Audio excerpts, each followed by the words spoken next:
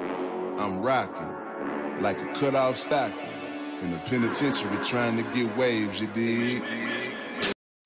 Hey, what's cracking, y'all? Once again, this is um, Edmund Hatch with MWR Life. Yeah, I'm outside chilling, sipping on some vodka, um, cutting, cutting down some um, pull tabs, doing work outside, just chilling, enjoying the um, nice scenery. I'm about to get here and start cutting this up, getting them cut down. Uh, tomorrow, get out here and start posting them up. So, yeah. What's up, son? How you living, baby boy? Living good? Join, join outside, nice and a little cool, a little windy, but cool though. Look at, look at, look at his outfit. Ooh, ooh, ooh. My son clean, got the American, got it, got it, got it, got it. Mondo, where you going, baby?